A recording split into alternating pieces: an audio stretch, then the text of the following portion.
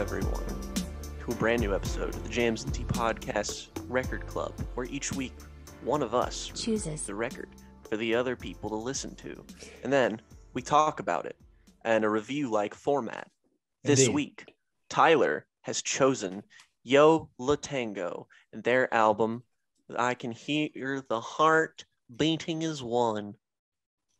Indeed, Yo La Tengo are a as, as much as you can have such a thing as an indie rock legacy act at this point, then Yo La Tengo would be that. They have been Notable going for releasing, re- releasing 10 million albums.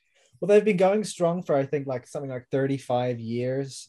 Actually, no, they've been going strong for I'd be even more specific than that, 37 years. They formed in 1984 and they gradually built up a discography that has become one of the most widely respected, one of the most critically adored, and one of the most consistently excellent, in my humble opinion, of all of you know classic indie rock. And as much as you classic indie rock can be a thing, then Yo La Tengo are a part of it.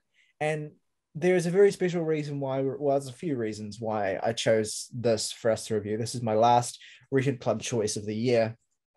And as I have alluded to, if not outright referenced, in my previous record clubs this year, a large theme of my record club suggestions this year has been albums that have meant a lot to me growing up, albums that have kind of like fundamentally altered or had some kind of impact on my taste in music, my musical development, what I appreciate. We've talked about albums such as Orbital's Inside. We've talked about albums like Modest Mouse's The Lonesome Crowded West. We talked about Broken Social Scenes, You Forgot It in People. We talked about Los Campesinos, Hold On Now, Youngster. The Dismemberment Plans, Emergency and I. Also, all of these albums that are kind of in my informal series of like canonical me records growing up. Many of them unified by that indie rock format. And when we think about like classic, when I think about classic indie rock, I think about the bands that defined the 90s for post sort of, you know, post the explosive, expansive era of blown out over the top rock music that defined the 80s. The 90s came to be defined by bands like Pavement, by bands like Built to Spill, by bands like Modest Mouse, by bands like the band we're discussing today, Yo La Tengo. They had a string of um, the kind of the most critically and commercially renowned records in the 90s from 93 through to 2000. Uh, those being Painful, Electr-O-Pura. Uh, this record, I Can Hear the Heart Beating, is one, and and then Nothing turned itself inside out, being the last of those. Um, but they've had many great records beyond that point, very underrated albums like Summer Sun, like popular songs like Fade, and of course the immortally titled uh, I Am Not Afraid of You and I Will Beat Your Ass. A, a, very dynamic band. And what, what a part of why Yo La Tengo have been so enduring and why they've been so continually respected is what a versatile band they are as well. Like when you think of indie rock, if I tell you think about an indie rock album right now, you will probably think of a record that sounds a very particular way, has like distorted guitars and sort of like alti vocals and you know fits within a particular mold. And what's always been beautiful about Yo La Tengo has been how much they have played with I mean, I don't even know if they would consider themselves an indie rock band. They probably consider themselves a pop band with the way that they work, but they are not restricted to a particular kind of niche with regards to expression. They're a very fundamentally fundamentals band, just singer slash guitarist, drummer, and bassist. Worth noting that the co-front people of this band, Ira Kaplan and Georgia Hubley, are married and have been married for the entire time that Yo La Tengo has been a band. And so the two things that have kind of defined the dynamic of this band one is the what I've already mentioned, the kind of versatility. They're not just an indie rock band, they write pop songs that are very clearly and heavily influenced by like 50s and 60s pop. They are one of the all-time great shoegaze bands. They're sometimes a fantastic noise jam band they can write beautifully simple, elegant. I mean, there's a fucking bossa nova song on this album for Christ's sake. they're incredibly versatile. But the other thing that kind of defines Yo La Tengo is the dynamic between Ira Kaplan and George Hubley, the husband and wife duo that trade vocals within this band on every album. And that essentially defined the kind of like homely, welcoming vibe of Yo La Tengo. To me, they're a very comforting band to listen to, even when they're making like ear scraping noise for upwards of 10 15 minutes on their albums. They find a way to do that. That's warm that's welcoming that becomes hypnotic and beautiful like you have some of the most gorgeous pop songs I've ever heard on this album. And yes, I would call them pop songs.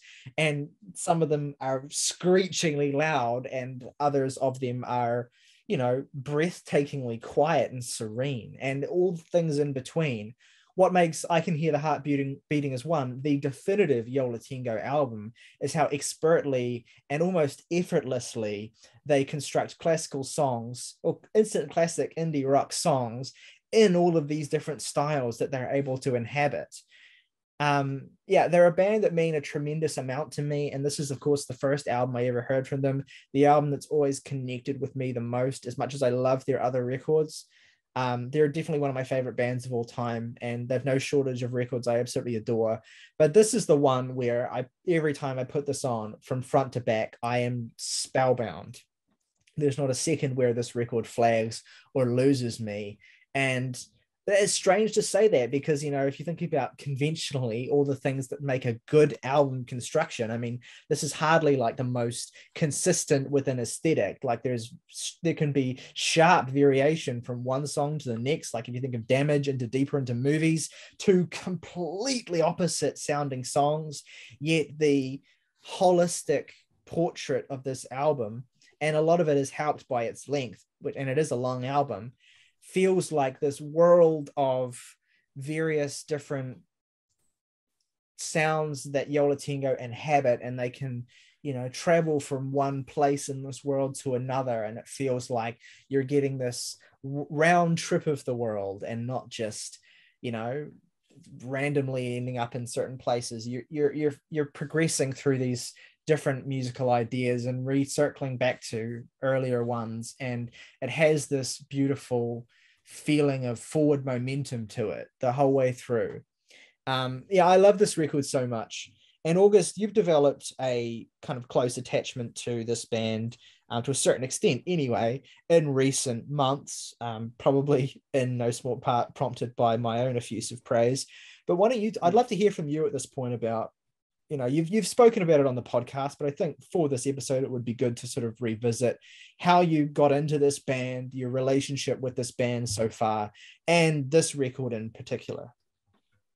Um so Yo La Tengo were a band i i first got into just because i i mean obviously you had been talking about them a lot and i was really intrigued by just their outward kind of strictly surface level aesthetic of like their album covers, their titling, and, and, the way they presented everything they did. And the first album I listened to from them was Painful. And that record, uh, that's its own thing. Very dark, atmospheric, and as you say, on the other hand, loud and abrasive so you know i i got into that album that way and then kind of started to move through their discography as you do and this was kind of the next this album was kind of the next natural progression point for me just because it was their most lauded record. And a, lot of my attachment from Yo La Tengo to Yo La Tengo has come from the fact just how much joy I get from revisiting their highlights because this is a band who, because of their versatility, never fail to bring a smile to my face because of how how they can weave one idea into another across their their records. And then and it still feels because I, initially my hurdle with this band was that I didn't think they were cohesive. And that was a bit of a turnoff, being a big structure whore myself. But as you listen to it, you find that cohesion in just the emotional tone and the presentation and production of ideas, even if they are conveyed through different lenses. And, and what really makes them stand out to me as an indie rock band is that 60s, 50s influence, some of which I think comes from Ira Kaplan mm-hmm. being about 10 years older than most of his contemporaries and having that age and growing up in a very different musical atmosphere where what he is what what this band and him and his wife are presenting on this al- on these songs and albums are less refutations to the previous decade of music and more nostalgic recalls to their childhood where they came from which gives such a comforting, nostalgic overall feel to the band, which is just mm. intoxicating, I find. You and I have talked about this a lot, August, that Yo La Tengo are a band where you put the music on and it, it's like it, it, it trans i'm trying to find a way of expressing this that doesn't like use cliches or corny language but like it transports you or the mo the t- places where you are and the times in your life where you are when you experience this music it becomes irrevocably tied to that. And when you as you kind of age and experience and revisit this music like the revisiting i think is so key like the coming back to this music it acquires a certain power through its presence in your life and through the sense in which its ambiance its kind of atmospheric sort of nature becomes like a part of the fabric of your memory and if that makes any sort of sense like they the, these songs root themselves in your brain and, and they become like these little fragments of comforting nostalgia that can bring you back to a particular place where you were when you first heard them, or they can take you to a place earlier in your life, long before you even knew that the band existed. They're able to th- there's something so comforting and warm and transportative about their music, even when it's being squallingly mm. loud, that wraps you up in a kind of cocoon. I think one thing that makes the band that one of the reasons why the band are so easily able to do this is that this isn't a band that writes sort of complex arrangements. These aren't songs that have like lots and lots of moving parts. Maybe the most complicated song, I guess, on a construction standpoint of this record might be Moby Octopad. But for the most part, this record is like these songs are elementally simple. There's oh, yeah. not a lot of layers that are going on. There's just very simple things. There's a drum beat that's usually quite consistent. There's a really warm bass line or bass texture, courtesy of James McNew, who is such an important part of this band's sound. Oh, and, there is, and he's so good also. It, yeah. it needs to be said that his he is like despite obviously not being a a like part of this husband and wife duo, he he has such a natural chemistry with this band that is such a part of their sound. Yeah, I, I am I'm imagining Ira and Georgia like in the early 90s because they were a band in this band for a while before James joined like seeing him being like my wife and I saw you from across the bar and we, yeah we, we really like your vibe we like your energy. we want to know if you want to join our seminal indie rock band um, mm. uh, anyway yeah he's so important he's you're right he's so important and it's not just like you think about the great bass players what's often the reason why they're so important is because you know the they add so much to the rhythm section of the band. Like the the rhythm section of a rock band is so important. But james what james does it's not so much about setting a rhythmic backbone for these songs but he is like the textural king. Like his bass playing sets is so much a part of the atmospheric fabric of these songs and what makes them so immersive just as much as Ira's very kind of like often distorted and noisy guitar playing. And it, the relationship between Ira and James as players, and then Georgia, who is the drummer, is super, super, super important to the effect of these songs. It, it's the hypnotic quality that the loping bass motifs or just general tones create. It's the hypnotic quality of Ira Kaplan's guitar soloing and just general walls of sound. I think he's one of the great soloists of all time. You don't get a heap of them on this particular album, but when his solos do show up on tracks like We're an American Band or one of my favorite little solos of all time, which is so like easy to overlook, but the solo in Stockholm Syndrome absolutely just fucking tears through my flesh and brain.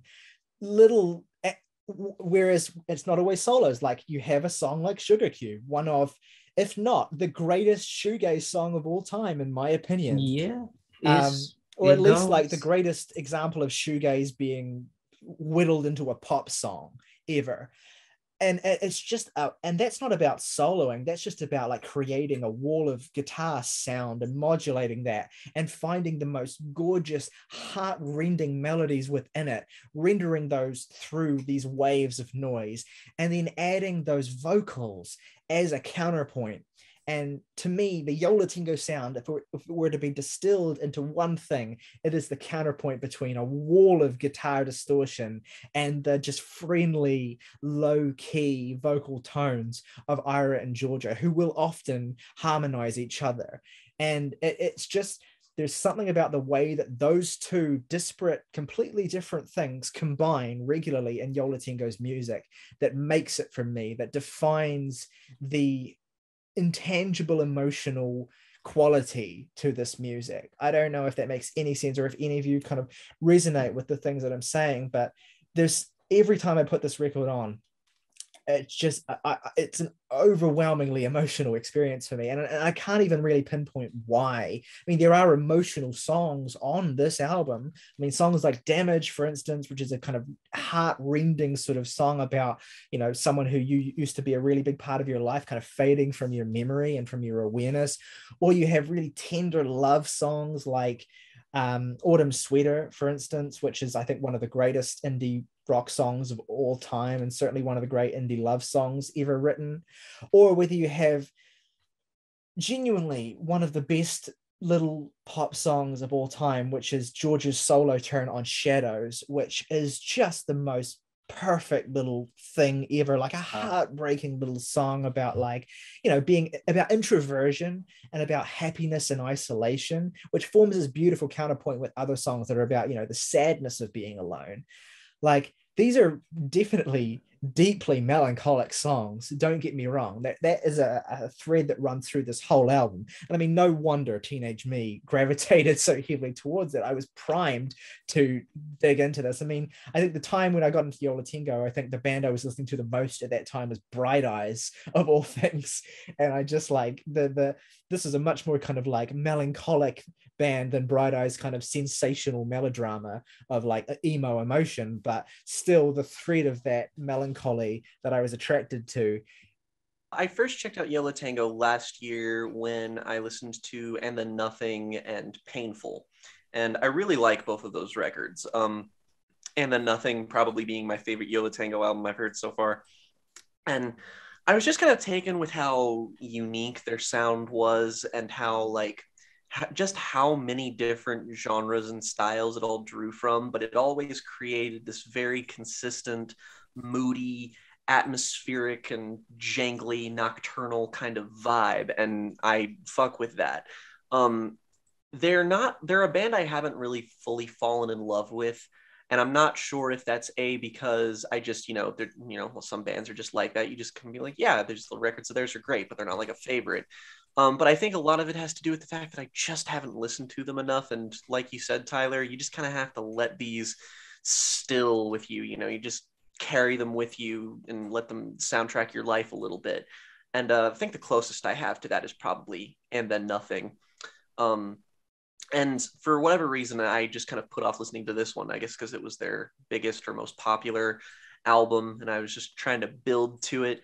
And upon listening to it, you know, and my opinion hasn't changed since, is that I think it's just as good as those other two records. Um, I'm not sure where exactly I would rank it amongst them or which one is my favorite. Again, I can only semi confidently say that and then nothing is mine, but I think the it's really easy to see why this is sort of the canon classic from the album just because of how it's a bit vague, but like there's a lot of things on here that just instantly feel iconic which is very strange just because of how low key and you know how you know obviously it's not like this is a pop album that everybody's heard before. It's not something that a lot of people would you know deem worthy icono- iconography of. But there are just lots of moments here that feel so careful and well designed and the way it all flows together is uh you know it's remarkable. It, it's it's the Yo La Tengo is an is a band sort of capitalize on my favorite thing about music, and that's atmosphere.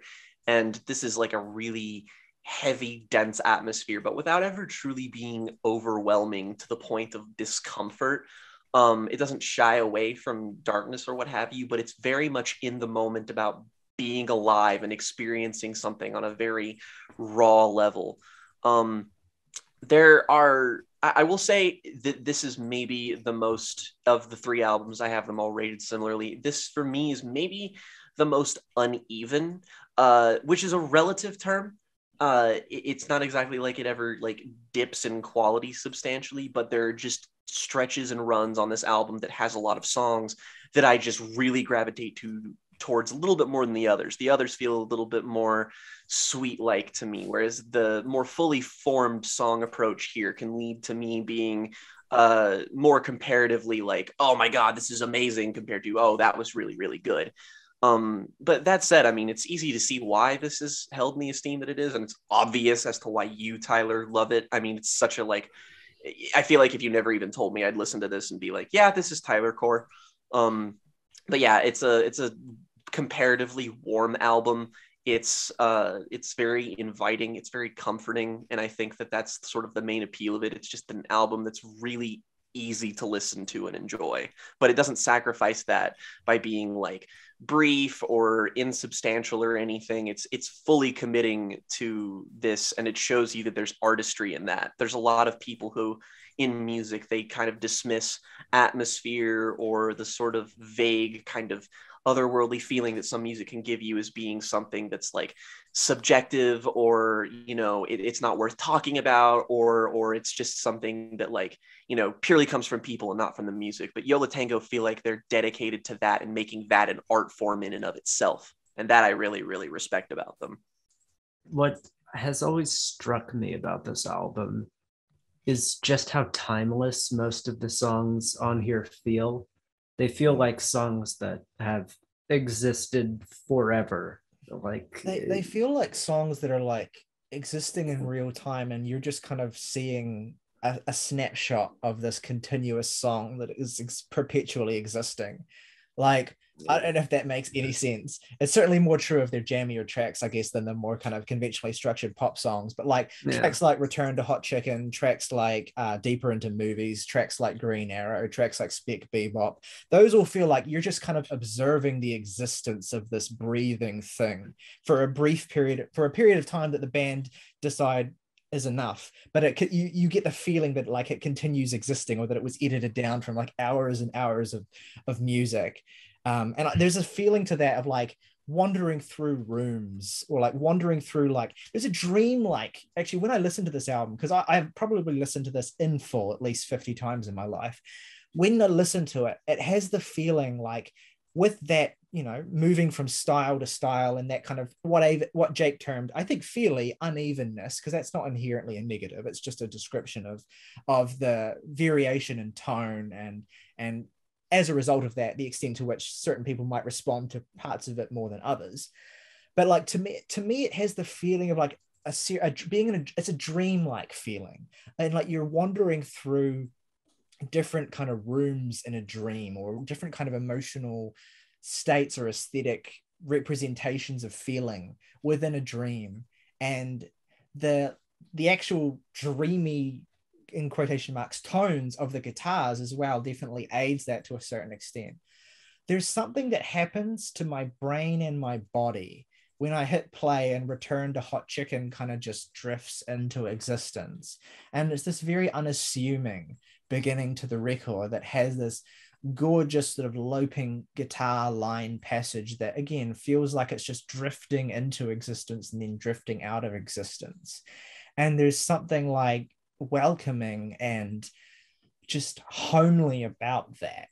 immediately, no matter how I'm feeling, I can put this record on that can drift into existence and my heart rate will go down. Like I, it, just has this sort of calming effect. And I think, to be fair, like if you want a, a purely calming musical experience, then maybe something like And Then Nothing would be a better pick because that is a much more um, low key album on the whole, has less of the noisier moments. But there is again and i think jake you kind of describes it really well when you said this kind of feeling of classic like the there's just things you can't describe why but they just kind of feel eternal or classic or or all time in, in some sense. Like that's to me what i the feeling uh, feeling i get when i hear a song like sugar cube or a song like shadows or a song like stockholm syndrome or autumn sweater or fucking this whole goddamn album.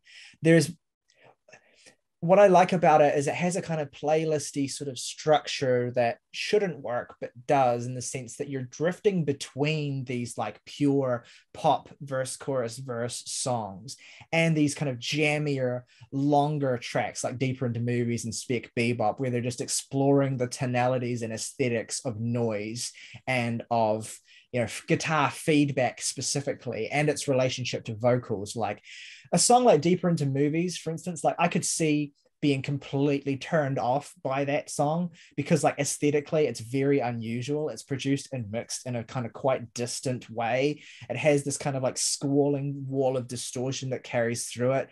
This absolutely gorgeous as honey bass line that rolls across the whole thing. And these vocals that sound like they're recorded in a fucking down the end of a corridor that they're shouting at this mic that's like fucking 20 feet away.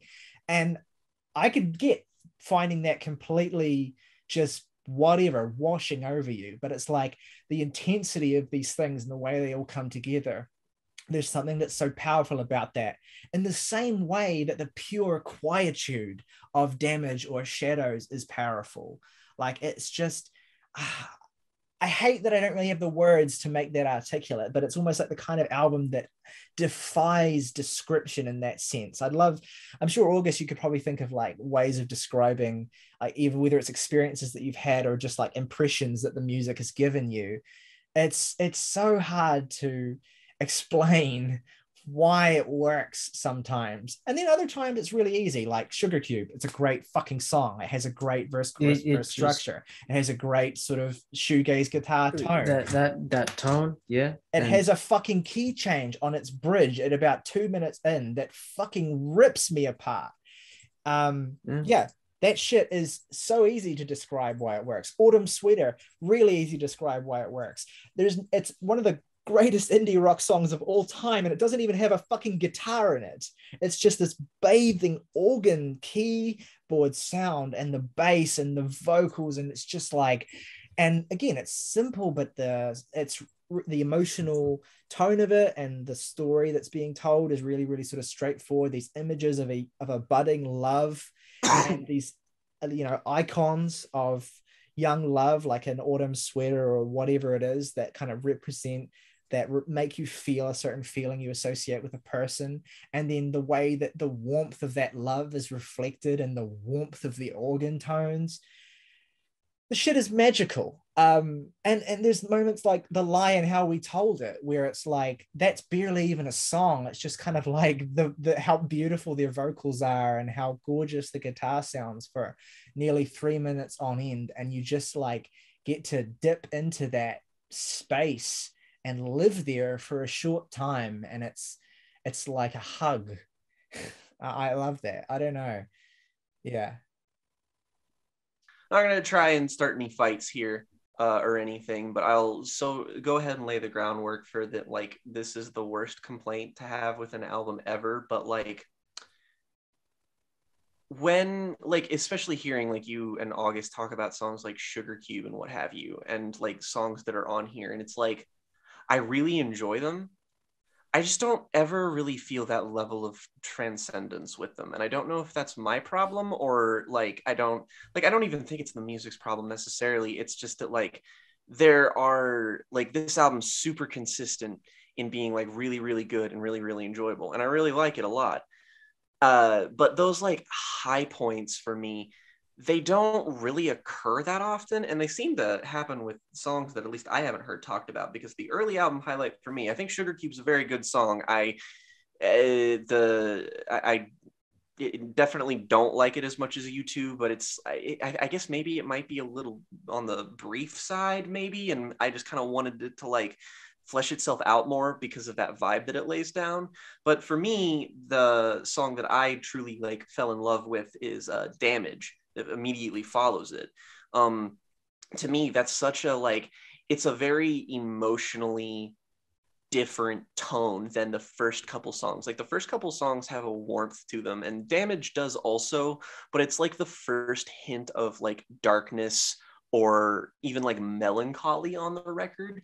And the way the song paces itself makes it way more akin to, I guess, my sensibilities. Like it doesn't sound like it would be out of place on a song like, or on an album like Painful, for instance. Um, but mm-hmm. like, this is like the perfect balance for me of uh, Yo La Tengo songs of like length, density, um, how the instrumentation complements everything. Um, and yeah, I think that that's it's I, that is either my favorite song on the album or the uh, I will say the one like agreed high point that I have uh, with you two is Green Arrow. I yeah, yeah. I mean that's just that's yeah. that's like the song on this album for me and yes co-sign literally everything about it that has been said nor and will ever be said uh walking around and just sort of like i remember when i first listened to this i like sort of it was like a sunset when I was walking out to my car from work. And like hearing this and then putting it on in my car and then driving away to it is like it's it's like a flawless experience. You get that sort of ambient nature sounds at the very beginning. It's really like hypnotic that way and it's like it almost like feels like a field record, recording that just evolves into a song. And that's just like that's a, a standout moment in their discography for me. That's like one of the fewer songs on here that would make it into like my top 10 songs from this band. Mm.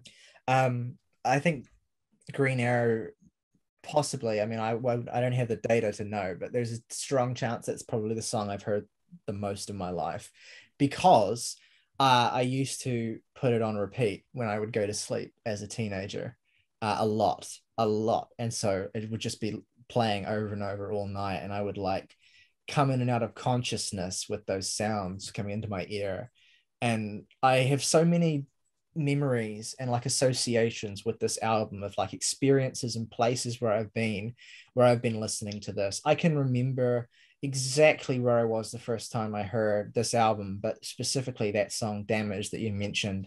I was in a van on a school trip coming home and it was late in the afternoon and I heard this album for the first time.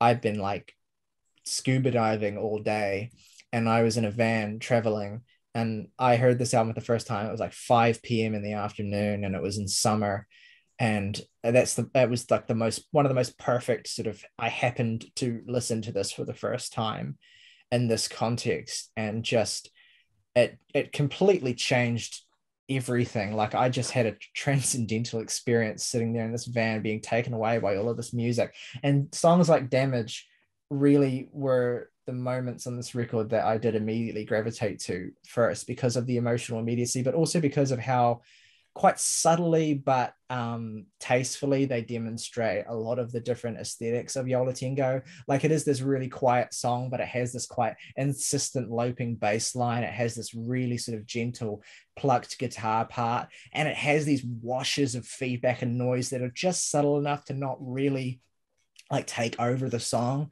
but there's such a sense of studio atmosphere in it and layers that it, it, even though it's such a minimal song, that it becomes quite like enveloping, like a whole sort of sonic world. And to me, a lot of the songs in this record, if not all of them, are that to me. But this song, I will agree, like is particularly pronounced in the way that it does that. And Green Arrow is like just the most sort of vividly imagistic song ever recorded maybe like it has no lyrics whatsoever but it perfectly evokes like a a, a dusky time of day where you're just kind of like sitting probably near some water but also near Tahsil Road and there's birds and grass and I don't know it's just like so vivid. And it's not even the field recordings in the song it's just the sound of the slide guitar as as some and, and the little bum, bum bum bum bum drums that come in in the second part of the song there's just something about it that feels like the this is gonna sound super corny but it's like the fucking breathing and beating heart of the fucking earth beneath you it, it just feels like it's it's reaching up into your brain through the music fuck i don't even know what that means but it's provocative and it gets the people going. There's definitely like a a naturalistic elemental nature to Yo Tango's music. I find that like there's something like almost spiritual about the way that it feels evocative of nature, but like specifically nature that exists uh, inhabited by or infringed upon by like humanity, as in like an urbanized landscape that like also contains mm. something natural like it's never like a forest in the middle of nowhere just like it's always like i always think about their music in the context of like walking around outside in my neighborhood this is the reason why the album cover for and then nothing turned itself inside out is my favorite album cover of all time because yeah. it's like this whole Baller. band distilled into one image and it perfectly captures the sound of that record but it applies pretty well to the sound of this record too like that kind of late sort of night there's this this bluishness and then the, everything looks blue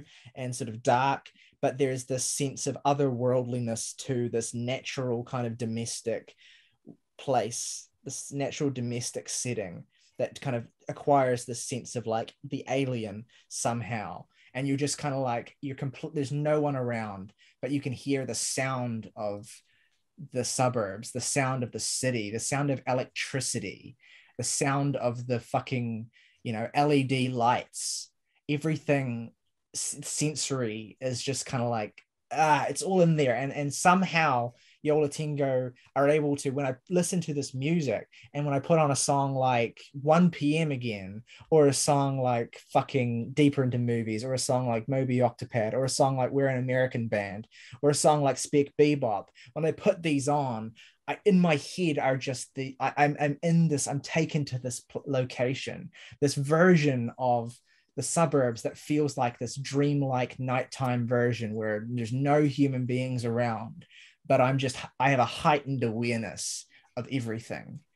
It, it, it, definitely reminds me of places like it on this, but like there's a song on The World is a Beautiful Place. I'm no longer afraid to die's first album, whenever if ever, that really mm-hmm. makes me think of Yo La Tengo. I bet you probably know what it is too, and it's Low Light Assembly, which is like my favorite deep cut on that album. It evokes that exact same serenity that I think that band captured, and also goes to show you how influential they are. Because I mean, like they, they, this is they they had to know, they had to know. Um, but it, it's that same kind of like, it's also kind of inherently sort of youthful and spirited. Like I always, it always feels nostalgic listening to a Yo La Tengo album. This is, and this is no exception, obviously. Mm. Yeah, yeah. I'm I'm trying not to repeat myself, but I keep thinking of like things that I uh, uh, feelings or thoughts that I've had, like how every time I listen to this album and it gets to Center of Gravity, which is the bossa nova song buried in the deep cut second half of this album, it feels like the end credits are rolling on my life.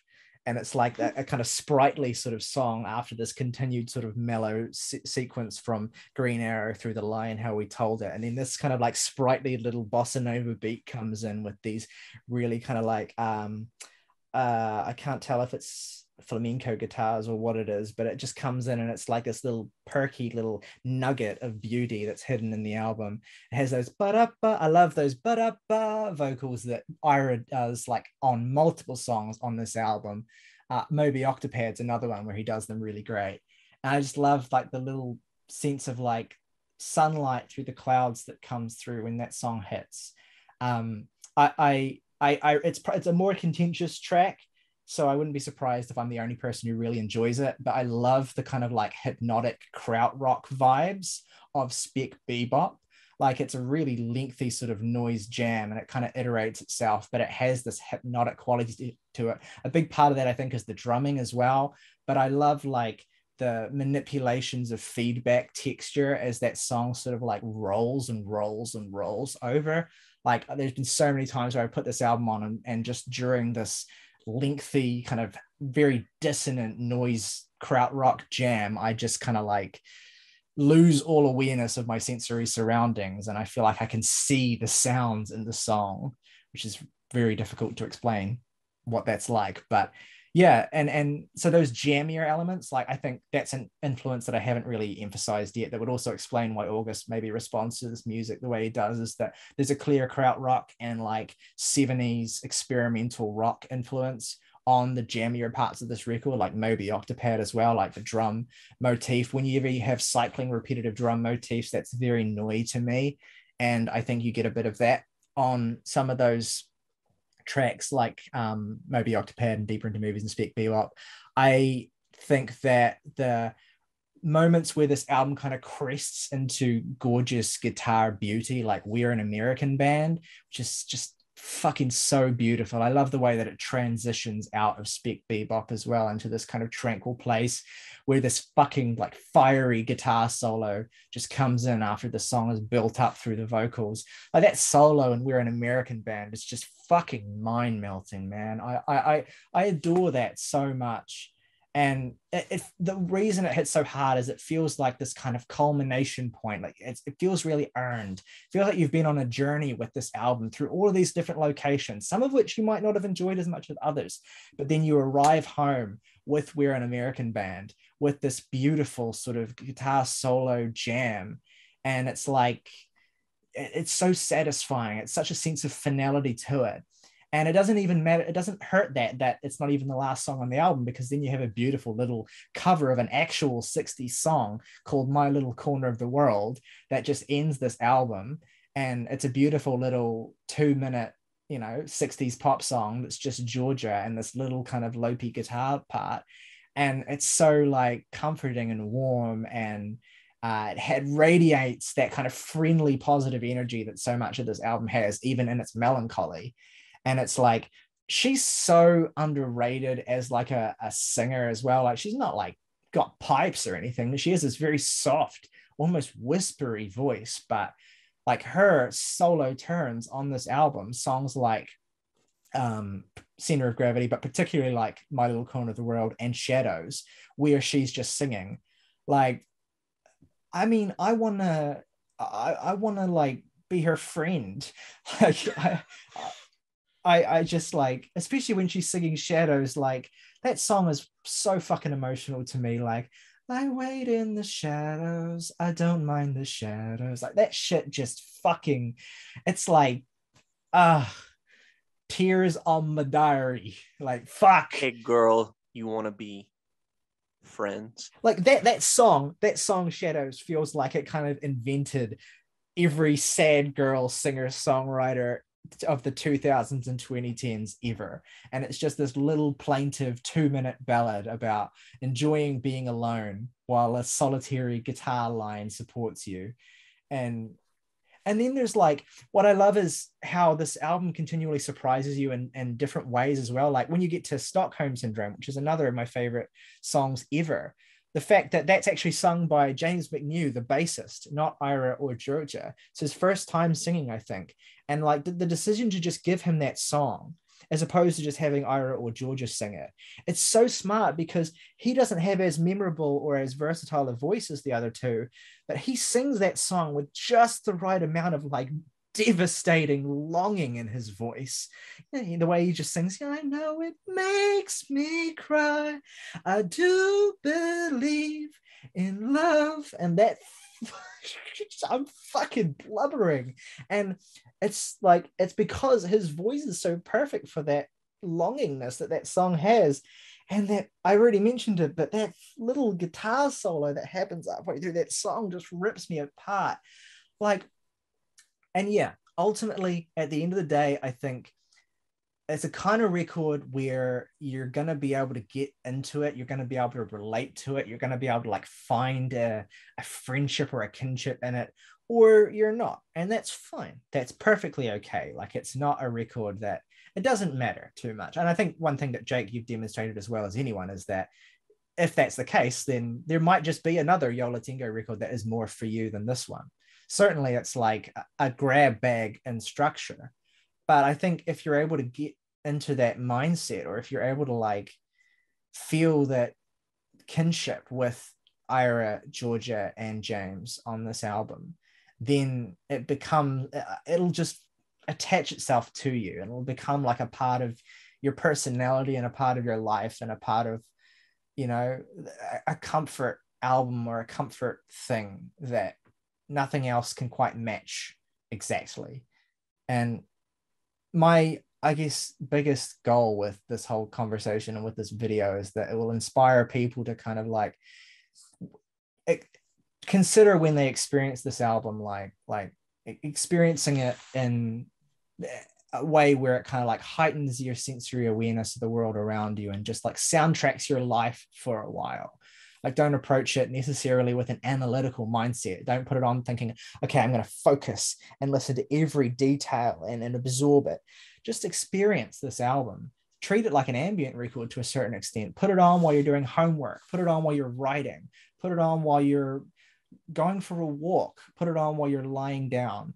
Don't feel like you need to pick it apart for all of its details. You can enjoy those details as they become, as you become aware of them while the album is existing in front of you. But like, let it exist for a while. And, and I think that's the, the key to this band in particular, but this album too, is it'll get under your skin or it might not. But I think for most people, and for me at least, I can speak from my experience.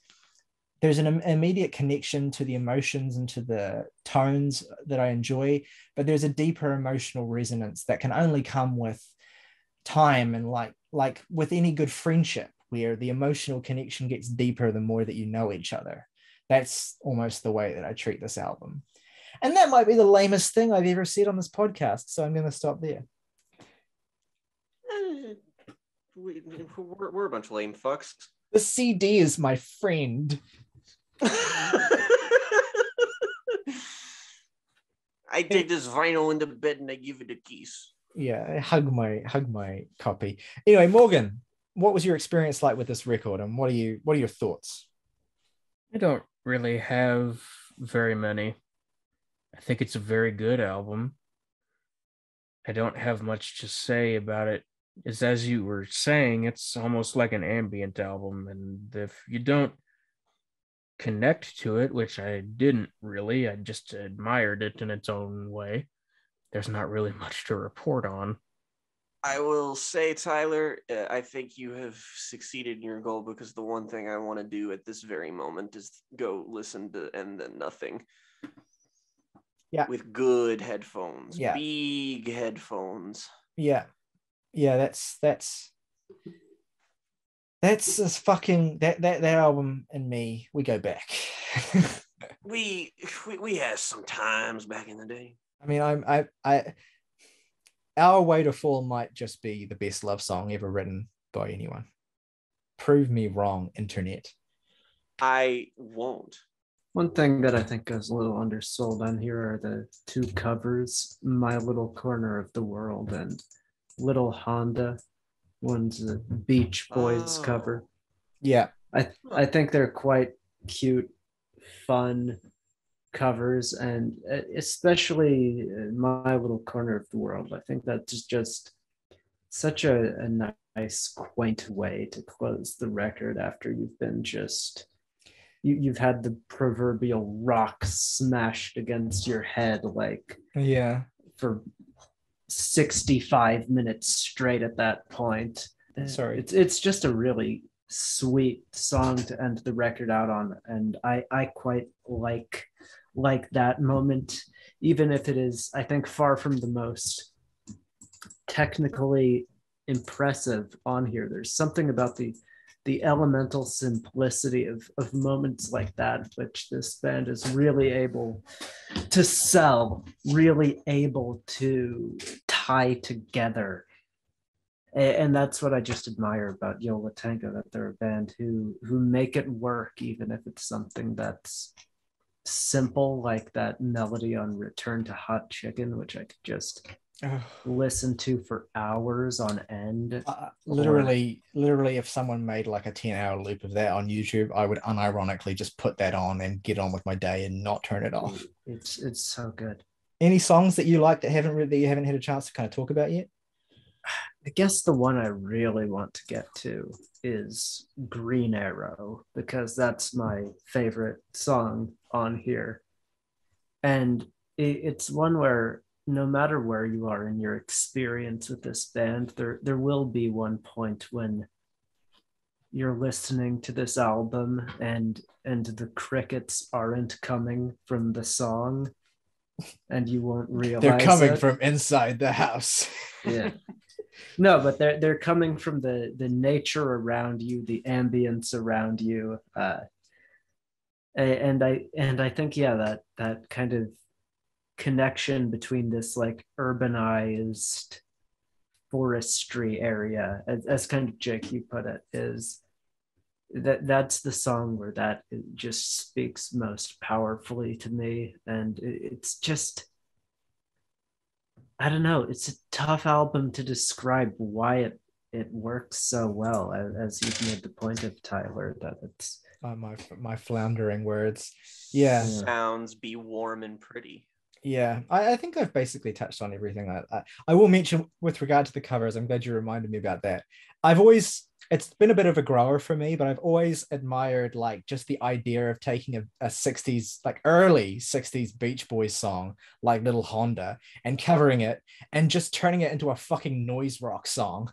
Like, like that, that, that to me, the concept of that is just really funny. And it's very speaks, it speaks to the sense of humor that this band actually has as well. That's also kind of a bit undervalued to some extent. Although, to be fair, they're not like, you know, they're not super irreverent or anything, but they do have a sense of humor about themselves. Yeah, great fucking album, great fucking band, uh, total fucking trip. Love it to bits. It will always be a part of my childhood, and I'll never be able to escape it being a part of me. So, yeah, fucking Fucking, man, man, man, oh man, oh man. fucking All right, man.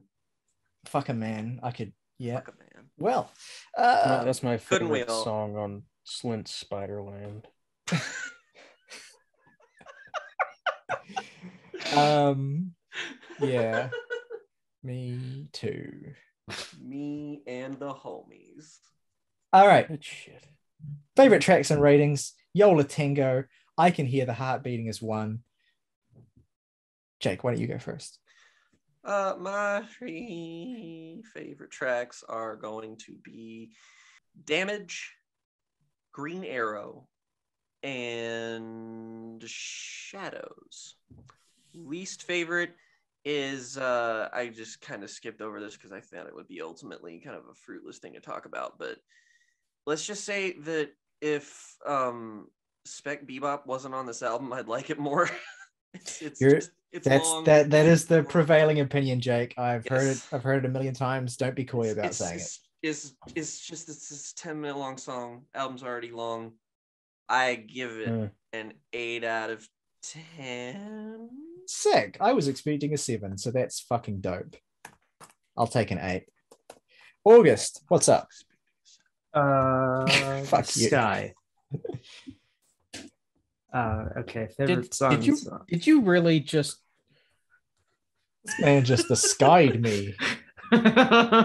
in in the year of our Lord What a what a 2021 Anno Domini? so favorites here Sugar Cube, Green Arrow, and I'll say we're an American band because that Yeah. song fucking rocks. Uh, least favorite, yeah, gotta go with Spec Bebop. I, as much as I like this album, it would be better if it wasn't here. I think, and my f- rating is uh, shit seven Whoa. and a half. seven Oh. and a half. Okay. The Well, rear. You know what though? At least the there there will be two things uh this channel talks about with the name Bebop in it. And Spec Bebop is definitely going to be the better thing of the two. Three favorites are uh, Green Arrow, Damage, and I'll say we're an American band. I like that song a good bit. My least favorite is also Spec Bebop for the reasons previously listed.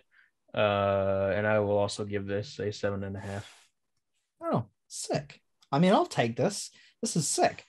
Um, Well, you have no choice. no, I know I don't have a choice. if I had to pick three favorite songs on this album, which is stupid, but let's just do it for an exercise because that's what we do on this podcast. If I had to pick my three favorite songs on this album, um, actually, since it's my record I'm going to do that, and then I'm going to pick the three most underrated songs on this album just for fun because they won't have overlap. Um, I'm a pretty basic bitch. Sugar Cube, Green Arrow, and Stockholm Syndrome are my three favorites on this album.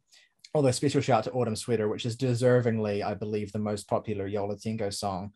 But the three most underrated songs on this record is a, simply a three song sequence, and that is 1 p.m. again, The Lie and How We Told It, and Center of Gravity, which is a fantastic run of really minimal and beautiful songs that no one ever talks about.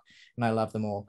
And this album is, of course, getting a 5 out of 10. I'm just kidding. It's getting a 10 out of 10. Wow, that actually you got me there. I was, it wouldn't have been funny if I didn't sound like I meant it. Um, anyway, yeah, 10. So that gives us an average of 8.3, which I will take. Yo, la 10, go. Thank you for sticking with me through this video and through this series of record clubs on albums that have defined my childhood, some of which have resonated more with this podcast than others. It's still been really rewarding. I'm now going to go back to recommending albums I love, but I also think will purely just be great conversationally.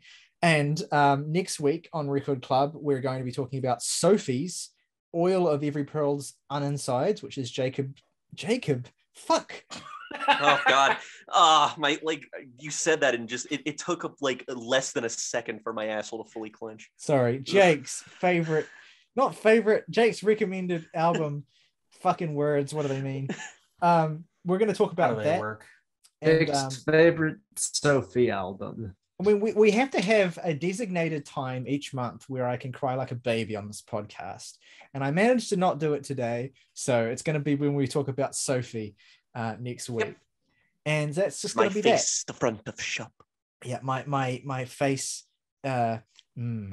Make sure if you enjoyed the video you give it a like and subscribe if you have not already. Let us know in the comments what you think of this album. What's your favorite yo la tengo album? If not this one what's your relationship with yo la tengo's music? We want to hear from you in the comments below. As i said next week we will be back with a new record club on sophie's oil of every pearl's uninsides so stick around for that Make sure you go and check out our main episode this week where we discuss the new albums from Adele and Converge and Chelsea Wolfe. And we'll be back next week with new reviews of Cynic and something else that we have to decide on what it's going to be. But it's going to be something good, probably, hopefully, the Paranormal album, but maybe, maybe not if we can find something better. August, why don't you send us out? A daily stand. It's like a Steely Dan. As always, folks, rock over London, uh, rock on Chicago, Honda, from Honda.